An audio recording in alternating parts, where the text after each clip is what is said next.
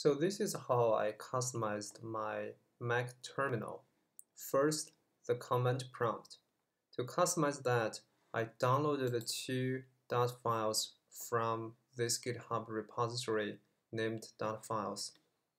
So I saved both dot bash profile and dot bash prompt into my home directory. They're right there. Then every time when I launch a terminal, it runs the code inside the dot bash profile, which in turn calls the dot bash prompt.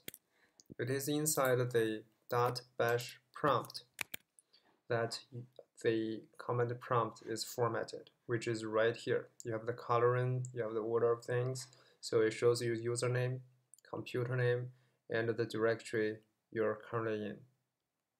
And if you work with Git, uh, it also has Git support. Say I go into a project that is under Git control, it would show the branch I'm currently on. So other than that, the only thing I added to the bash profile is this one right here. So every time one a terminal is open, it would uh, be in my iCloud folder by default.